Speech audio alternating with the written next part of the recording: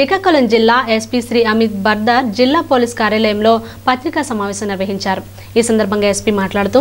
సంతబొమ్మాలి మండలంలో పాలేశ్వర స్వామి ఆలయ జంక్షన్ వద్ద సుమారు మూడు సంవత్సరాల క్రితం సిమెంట్తో తయారు చేసిన దిమ్మను పెట్టడం జరిగిందని తేదీ పద్నాలుగు ఒకటి రెండు వేల ఇరవై ఒకటి గురువారం సాయంత్రం మూడు నుంచి నాలుగు గంటల సమయం ప్రాంతంలో పాలేశ్వర స్వామి ఆలయ కమిటీ సభ్యులు నిర్వాహకులు మరియు కొంతమంది ఉద్దేశపూర్వకంగా ఆలయంలోని విగ్రహాన్ని ఎవరూ లేని సమయంలో ఎటువంటి ఆచారాలు సాంప్రదాయాలు పాటించకుండా మతాన్ని కించపరిచే విధంగా ప్రజల మధ్య మత విద్వేషాలు సృష్టించే విధంగా ప్రజాస్వామ్యానికి భంగం కలిగే విధంగా అందరూ కుట్ర పన్ని ఆ సిమెంట్ దిమ్మపై ఎటువంటి ప్రభుత్వ అనుమతులు లేకుండా ప్రజా రవాణాకు ఇబ్బంది కలిగే విధంగా నంది విగ్రహాన్ని ఏర్పాటు చేయడం జరిగిందని తెలిపారు. దీనివలన ప్రజల యొక్క మనోభావాలు దెబ్బతిన్నాయని దీంతో శాంతి భద్రతలు తలెత్తే అవకాశం ఉన్నందున పోలీసులు చొరవ తీసుకొని క్షుణ్ణంగా పరిశీలించిన అనంతరం మత విద్వేషాలు వైషమ్యాలు రెచ్చగొట్టే విధంగా ఉన్నాయని మరియు ప్రస్తుత పరిస్థితులను బట్టి ఆనంది విగ్రహానికి రక్షణ లేదు అని గమనించి సీసీ ఫుటేజ్ ఆధారంగా మరియు సంత బొమ్మాలి గ్రామ వీఆర్ఓ ఇచ్చిన రిపోర్ట్ మేరకు సొంత బొమ్మాలి పోలీస్ స్టేషన్ నందు కేసు నమోదు చేసి ఫుటేజ్ ఆధారాలు మరియు ఇతర ఆధారాల ఆధారంగా